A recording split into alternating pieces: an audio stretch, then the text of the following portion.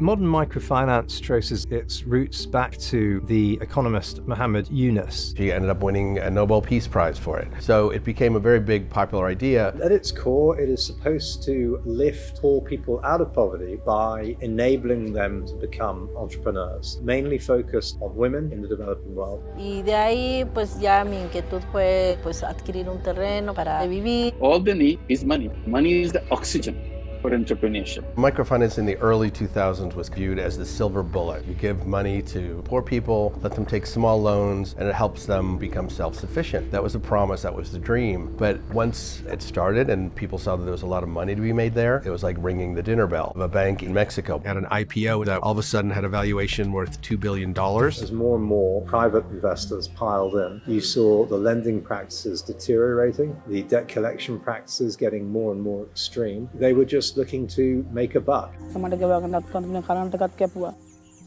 Hundreds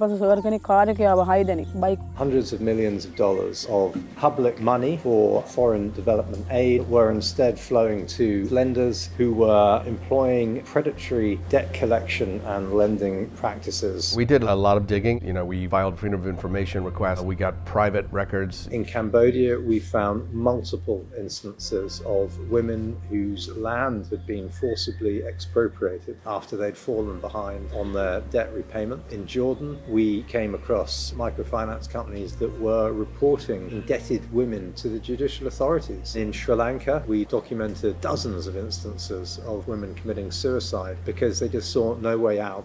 ගිනි